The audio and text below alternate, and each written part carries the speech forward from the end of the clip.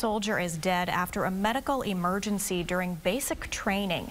Private First Class Jacob Atchison was training at Fort Moore in Georgia at the time.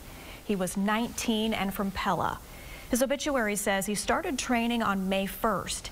He had hoped to become an Army Ranger and someday join Special Forces.